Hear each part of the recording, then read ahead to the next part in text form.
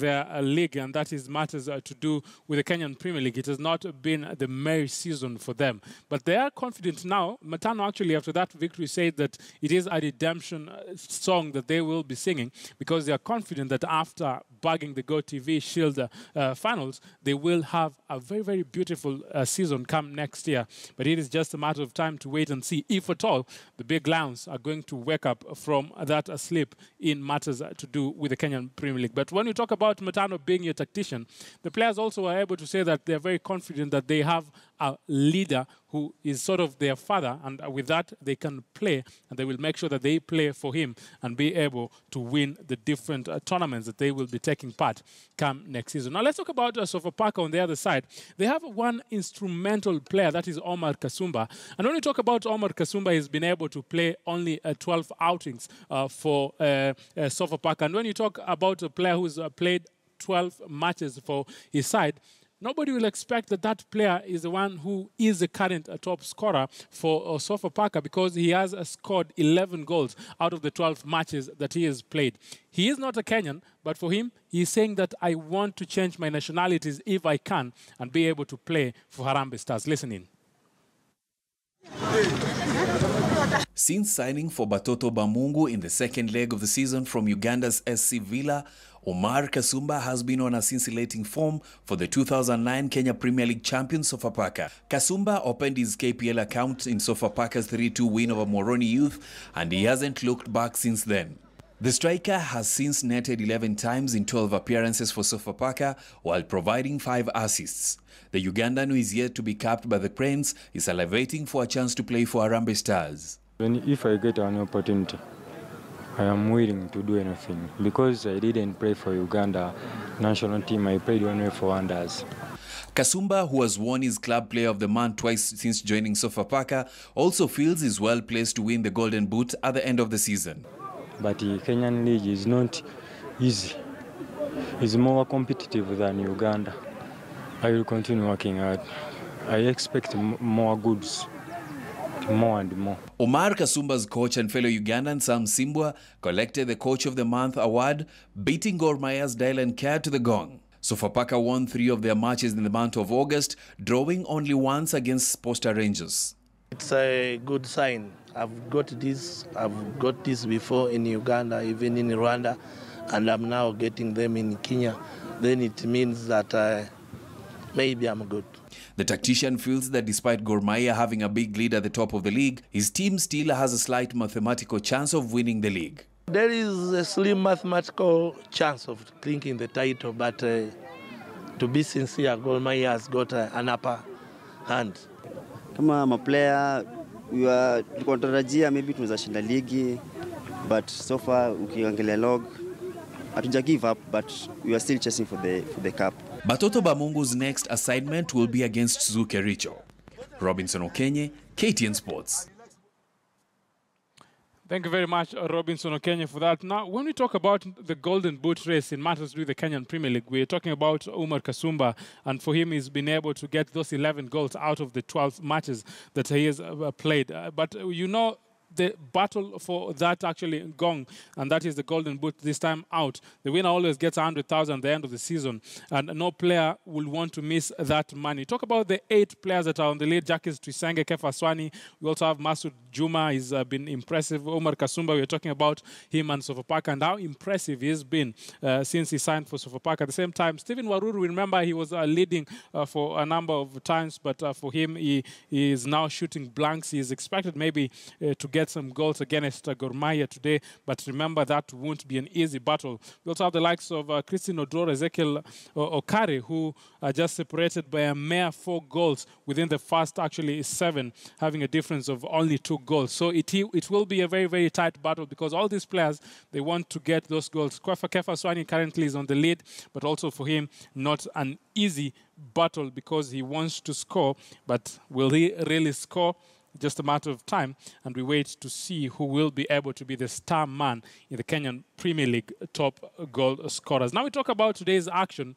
We'll be having different uh, games, uh, different results are expected to come in, but very, very crucial. The one match that is expected to be the rib uh, cracker of all is the top of the uh, of, of the table battle, and that is uh, Gor Mahia, which side is going to be playing against Ulinzi Stars. We're talking about uh, and Ulinzi Stars. The two sides have a very, very uh, positive uh, uh, history. But for Gor Mahia, they will be away today. But for them, they only need one single point. And when they get that single point, they will be able to be crowned the champions of the Kenyan uh, Premier League. We talk about, we know we had uh, other matches that have been postponed because of the Go TV uh, final that we had yesterday. Kariobangi Sharks was supposed to pl- play with Nakumatt, but they played in the uh, third uh, place. We also have the likes of Muhoroni Youth uh, against FC Leopards. They were supposed to play, but that match also has been postponed. Nzoia Sugar also was, was scheduled to play today against Kakamega Homeboys, but also that match has been rescheduled. But we talk about uh, Nzoia Sugar on the other side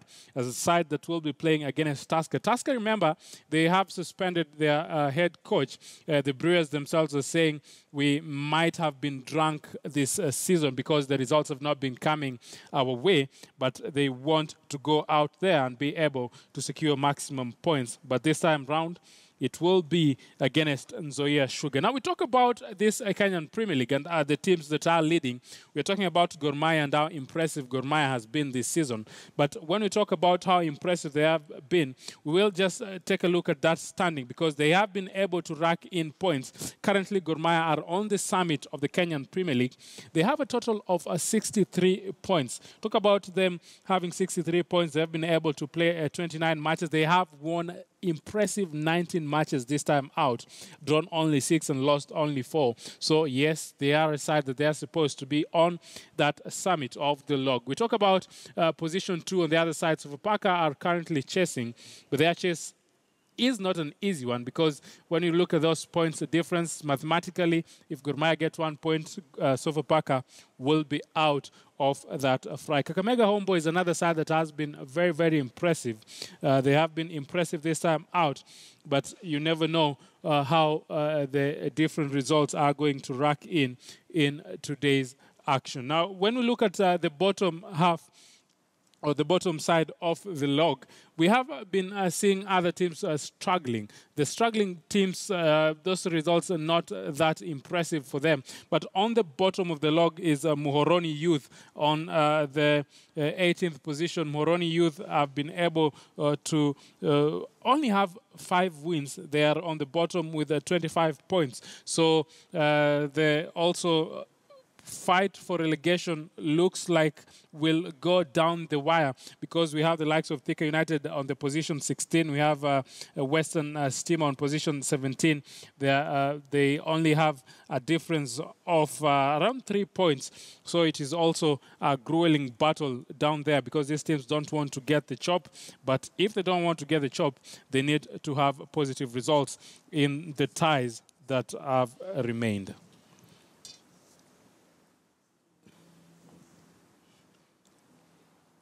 And of, and of course, when you talk about the relegation scare between these teams, the likes of Western Stima, the likes of Muhoroni, and also the likes of uh, Thika United that have been uh, struggling down there, we will also have to take a look at what is happening in the National Super League. Because when you talk about the National Super League, it is all about I want to be on the Kenyan Premier League in the coming season. When we talk about wanting to be on the Kenyan Premier League, we have the likes of um, uh, KCB. Remember, KCB actually uh, got uh, the chop when they dropped in a 2015 season. If uh, my memory serves me right, they only were able to have a total of 26 uh, points then when they went down. This time out, they are currently leaders on the NSL, that's the National Super League, and they are brimming with confidence, saying that we are optimistic that we are going to go up. They are The leaders now, we also have uh, the likes of uh, Vihiga United, uh, who are currently the third uh, position, and the likes of Ushuru, who also saying we want to party and be able to get those maximum points, and come next season, we want to dance against the big wigs.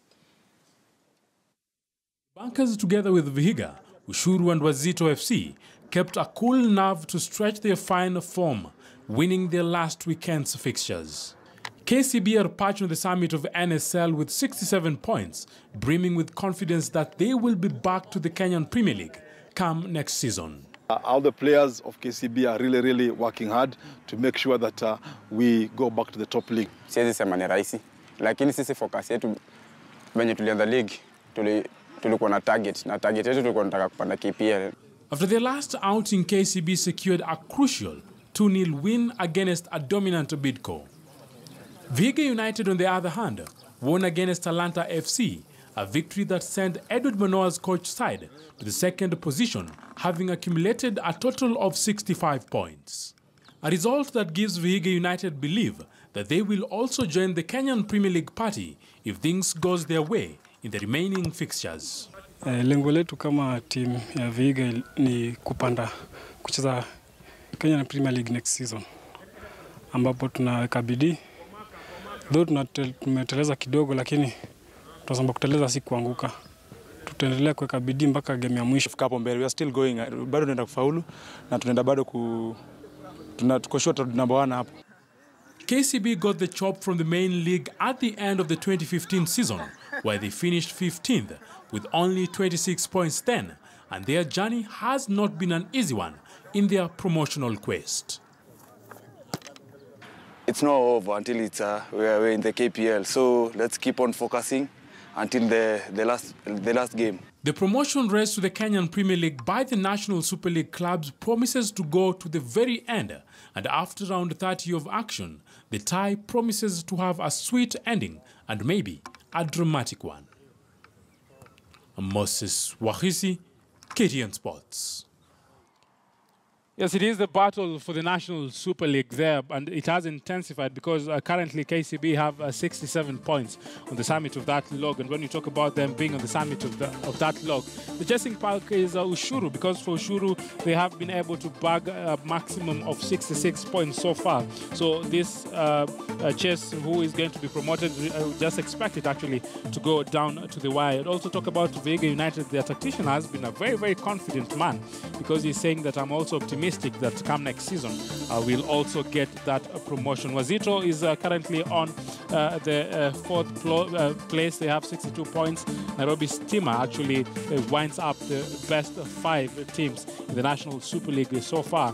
For them, they have been able to bag a maximum of 58 points. But when you also look at the relegation scale on the other side, Administration Police on the 17th position, Agrochemical on the 19th, and also Moscow are the worst performing side in the National Super League because they are down, having only 15 points out of the 29 matches that they have played so far. So, for obvious reason, you know, in National Super League, expect Agrochemical and the Administration Police plus St. Joseph to have a very, very tight competition, while Moscow down there has already been relegated because they can't do some catching.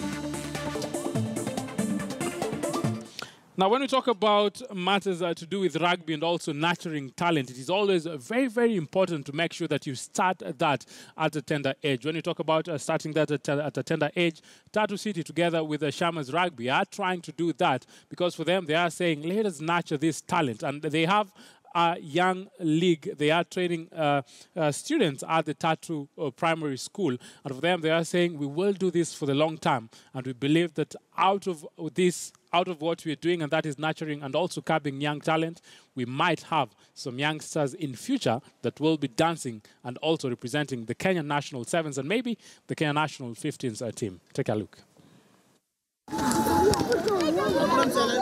Five months after Tatu City announced its sponsorship for Shamas Rugby Foundation to set up a youth rugby clinic at Tatu Primary School, it is all systems go, with different parties involved yearning to nurture raw young rugby talent at the grassroots level. Not the best playing field, however, but the young children attending Tatu Primary School are getting the basics of the game, something that remains a key foundation for the promising future kings and queens of rugby. One day I would like to represent Kenya, but many people in Kenya they say rugby is a rough game. They can't play because they are going to injure them, themselves. But if you have confidence in you, you can make it. You can play rugby and join Kenya team. Uh, I can tell the uh, the parents to to allow their children to come to play rugby because rugby can help someone to develop a skill or even help her or his on on her education. Na tunaenda kucheza timu zingine, na hizo timu zilianza kitambo kitambo, na sisi tumeanza juzi hii mwaka tu, so unaona tuna compete nao na saa zingine wao tunawashinda. watu wa national team. Na mimi naweza penda siku moja nikuwa mtu wa national team. With the aid of the Shamir Rugby Foundation coaches, the players gets the three training sessions per week and has now attracted over 100 young players. As part of the clinic, the children taking part in the project spice the rugby action with life skills training and as much as they want to develop their game, they know the importance of their studies. Pia tunafunzwa kuheshimiana hapa kimaisha kwa juu sio uh, sisi wote hatutatoboa tukicheza rugby na tutaenda inaweza tupeleka mbali tukiwa si wenye wanarespektiwa. It's something that we are not just doing because there's a CSR clause somewhere. It is something we are actually investing in personally.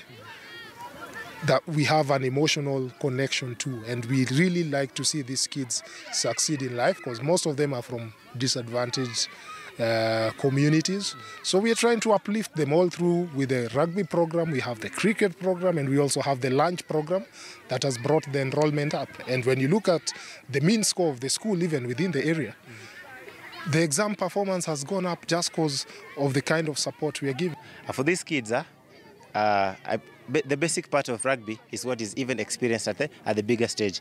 You find that uh, if you see at Kenyan rugby, we don't have the basic part. That's why even to our national team, we have a bit issues. But now with Shamas Rugby Foundation, I'm so glad that to say that in the next five years, we'll have players who can do basics at the better stage, at the bigger, uh, at the national level. You develop your, the character of your child, and uh, no matter if it is football, basketball, volleyball. Of course, I chose rugby since I was 10 years old. I mean, over 20 years I've been playing this sport, and now I can see how much talent there is uh, in these children and how much fun they get out of that. Parents sometimes ask themselves, why should I force my daughter or my son to play rugby when it's a contact sport?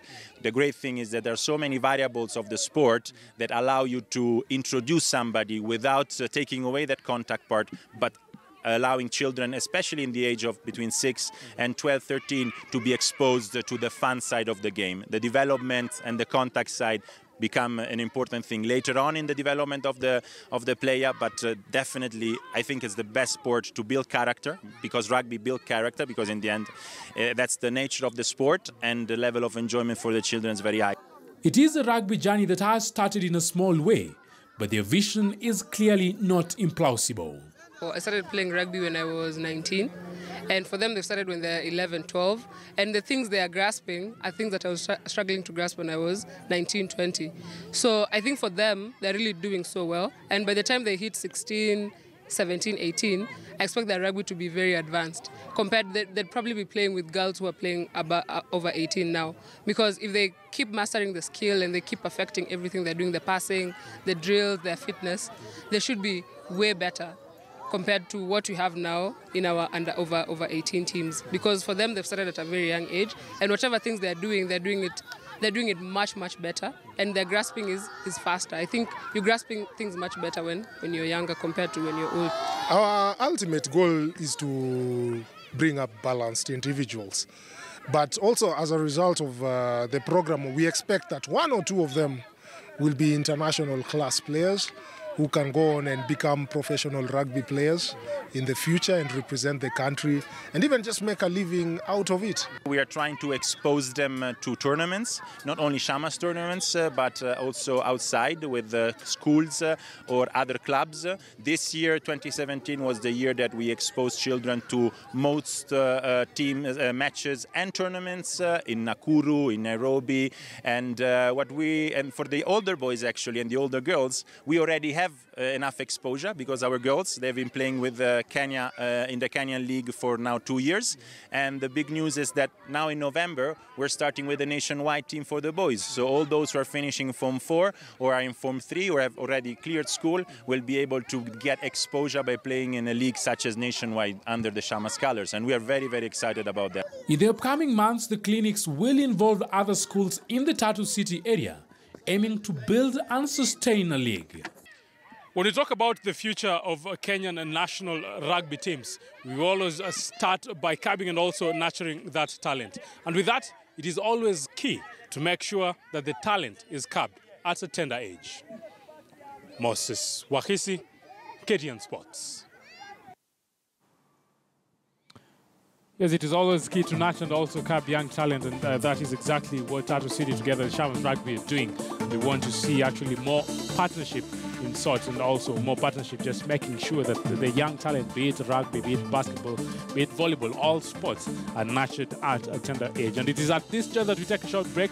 When we come back, we're also going to talk about the legend of the day, and also we're going to take a look at what is expected in today's action in matters to do with English Premier League. That and much more after this short break.